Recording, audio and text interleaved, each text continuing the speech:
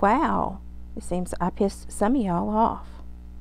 So for you little stinkers who want to come on here and act like I am being inappropriate or trying to stir up some kind of crap, let's logically, rationally, and with knowledge look at this issue. The highest ranked drug overdoses for our generations are in the category of like the 25 to 35 year olds. That is the most drug overdoses taking place in our history, in our right now in society. He's in the bad spot. Okay, look at Tennessee. Tennessee has some of the highest numbers. And guess what?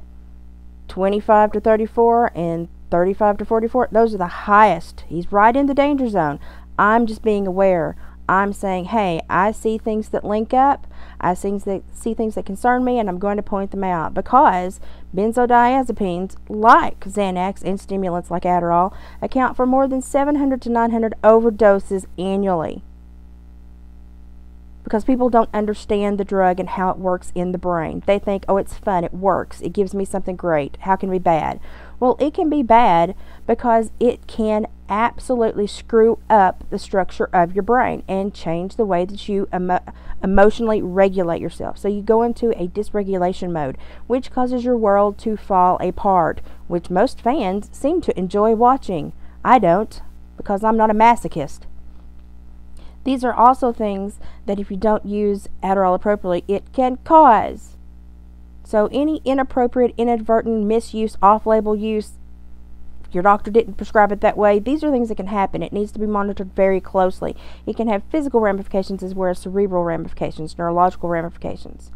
See, as long as the dosage is correct, the medication should not affect your personality or sense of humor. But when it's not, look, it creates all these issues guess what? I'm seeing a lot of similar issues. And because I care, I want to say, hey, yo, you mentioned this. You put this information out on the internet.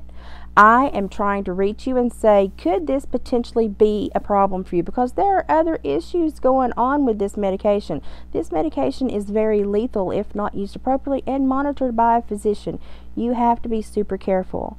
And it's, it's very odd for me to see people be so lackadaisical about like misuse of medication.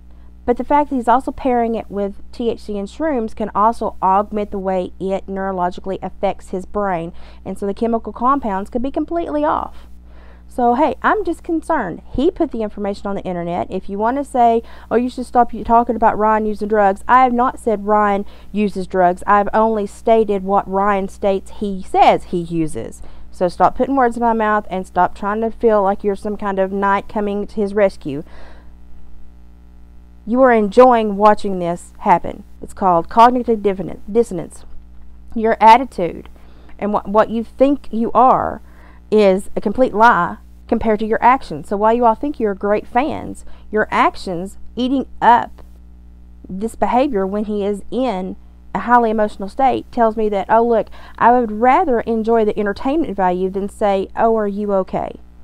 That's because most us would rather have comforting lies as to get in the line for the unpleasant truths. Well, I'm going to get in the line for the unpleasant truths. And you know something?